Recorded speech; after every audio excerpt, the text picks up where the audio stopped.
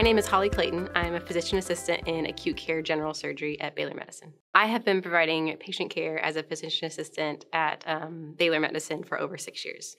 I specialize in acute care general surgery, um, which is basically any surgical event that needs to happen in the next 24 to 48 hours, urgently or emergently, in the hospital. Specifically for me, I take care of patients after they've left the hospital, and I oversee their care in the clinic um, and their recovery. I set them up for any subsequent surgeries they may need um, as a result of their acute event. So the patients are often um, very overwhelmed when we first meet them because they have an acute event that they were not prepared for.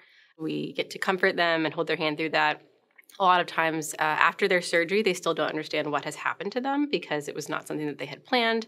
And so I walk them through what surgery they had, uh, what that means for the rest of their life. I walk them through what their wounds are like and what their care is going to be for those, um, and then just give them any instructions they need, um, which is a lot of education.